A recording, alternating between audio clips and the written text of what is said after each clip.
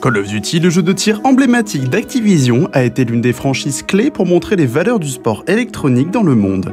La saga a également servi à catapulter certains joueurs vers la popularité, soit par leur niveau, soit par leur personnalité. Parmi eux se trouve un jeune homme de Chicago qui a lutté pendant des années pour avoir sa place sur la scène et a ainsi tenu en haleine des millions de fans pour sa personnalité et son rôle de créateur de contenu.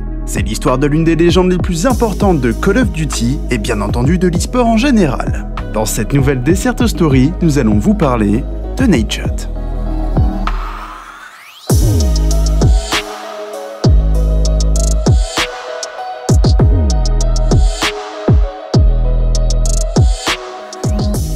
Matthew Hague est né le 3 août 1992 à Chicago, aux États-Unis. Son pseudonyme Nate Shot est une contraction de la Grenade Shot de Halo, un jeu dont il a toujours été fan. Ayant un esprit compétitif depuis toujours, son attirance pour les jeux vidéo l'a amené à s'aventurer vers le sport électronique, d'abord évidemment avec Halo, puis avec Gears of War et enfin avec Call of Duty. Matthew a mis beaucoup de temps avant de se pencher sur la franchise d'Activision. Lorsqu'il a acheté sa Xbox 360, il a tenté d'y jouer mais a été battu à plusieurs reprises dans ses premières parties. Il a donc choisi de ne pas y jouer pendant un certain temps. Au fil du temps, il tenta à nouveau sa chance en ligne et commença à s'habituer au mécanisme. De ce fait, il s'est amélioré et a rapidement balayé ses adversaires. Nightshot n'a donc pas tardé à trouver des compétitions auxquelles participer avec son groupe d'amis. Cependant, à cette époque, il était loin de pouvoir générer une source constante de revenus en étant joueur. Sa famille l'obligea donc à chercher un emploi qu'il finit par obtenir chez McDonald's.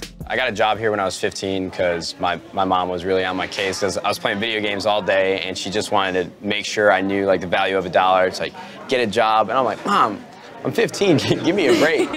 Alors qu'il combinait son travail dans le fast-food et sa vie en tant que joueur professionnel, Nate a réussi à attirer l'attention de plusieurs organisations. Parmi elles figurait Optic Gaming, qui à ce moment-là détenait déjà une grosse notoriété sur la scène Call of Duty. En plus d'être une redoutable équipe compétitive, Optic s'intéressait tout particulièrement à la création de contenu audiovisuel, ce qui leur permettait d'entretenir des relations étroites avec ses fans, le Greenwall. Grâce à sa personnalité, Nate a rapidement attiré l'attention de Hector X Rodriguez, le PDG de l'organisation qui a remarqué son potentiel créatif. Son entrée chez Opti Gaming en 2010 a été un grand moment pour sa carrière, même s'il s'est heurté à différents obstacles. Principalement le manque de résultats et le manque d'alchimie dans son équipe. Ce rejet l'a presque amené à quitter l'équipe, mais avant de partir, X l'a convaincu de rester en concentrant toute son attention sur l'aspect créatif et servant de benchwarmer à l'équipe compétitive. Nate est resté dans l'organisation en tant que créateur de contenu et a participé à une poignée de compétitions pour Optique en tant que remplaçant et même pour d'autres équipes. Malgré sa carrière compétitive stagnante, la création de contenu lui a fait connaître un grand succès.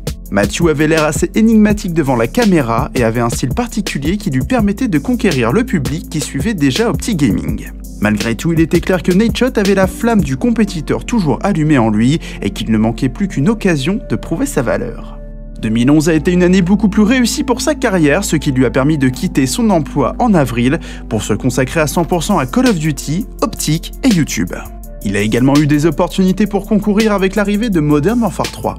Suite à des départs au sein de l'équipe, il a trouvé une place dans la composition pour faire le Call of Duty XP à Los Angeles, soit l'un des plus gros tournois de l'époque. En étant confiant et sûr de son talent tout en ne souhaitant plus être remplaçant, Nate a démontré son niveau dans le jeu.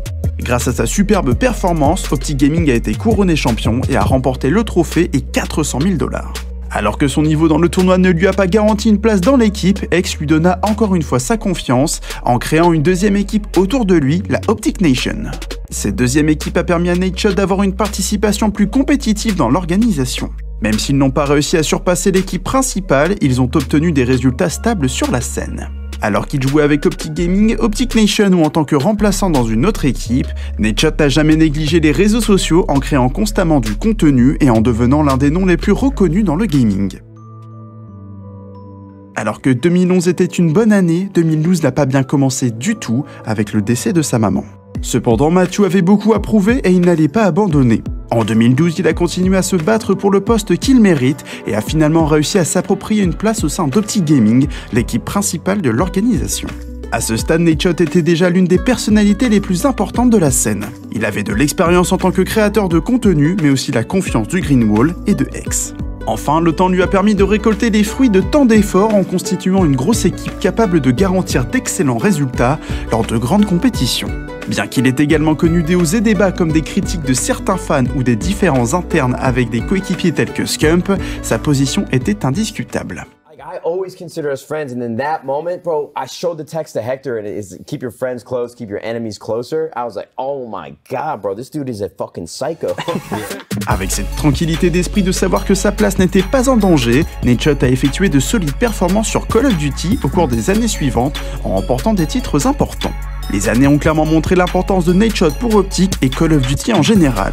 Il était un excellent joueur professionnel qui a contribué à développer le jeu et sa scène, ainsi que sa propre organisation. Grâce à tout cela, il a reçu le prix du meilleur joueur professionnel du monde lors des Video Games Awards 2014.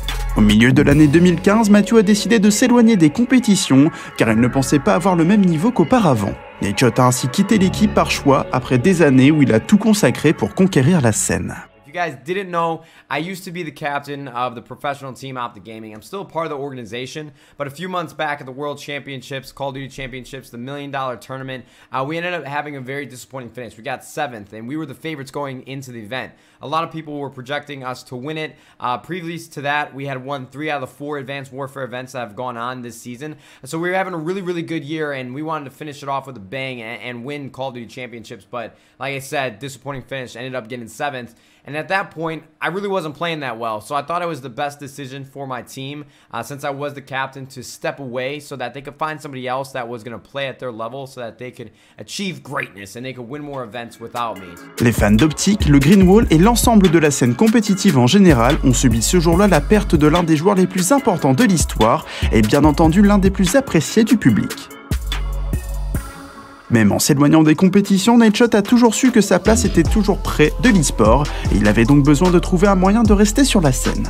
Grâce à ses années d'expérience et à l'argent qu'il a gagné en tant que joueur et créateur de contenu, Matthew a fondé Unreal Thieves, sa propre organisation compétitive en 2016, puis a commencé à s'investir dedans en novembre 2017. Il a été soutenu par Dan Gilbert, le propriétaire des Cleveland Cavaliers, mais également Drake. On peut aussi noter l'investissement de Scooter Braun qui a fait énormément pour l'organisation. André Thieves est rapidement devenu un nom très important, non seulement parce que l'organisation appartient à Netshot, mais aussi pour ses résultats sur Call of Duty, League of Legends, Fortnite Battle Royale et Apex Legends. L'histoire de Netshot est celle d'un vainqueur. C'est un joueur qui a su se frayer un chemin entre les critiques et les défaites. Grâce à ses efforts, il est devenu l'une des figures les plus importantes de l'e-sport. Son pseudonyme est ancré dans l'histoire de Call of Duty. Au-delà du jeu, il a démontré à tout le monde qu'il avait la possibilité de triompher simultanément en tant que créateur de contenu et en tant que joueur professionnel en étant l'un des précurseurs des superstars actuels du jeu vidéo. Matthew aura toujours sa place dans l'histoire du sport électronique, soit en raison de son héritage en tant que joueur, soit en raison de sa puissante organisation. En France, il existe une personnalité similaire à Netshot et il s'agit de Gotaga. Tous les deux sont athlètes chez Red Bull et ont un parcours similaire en commençant par Call of Duty jusqu'à la création de contenu. Netshot a même parlé de Gotaga lors d'un podcast avec Rage. Well, you guys know Gotaga, right? Yeah. Yes. Do you know what Gotaga used to do?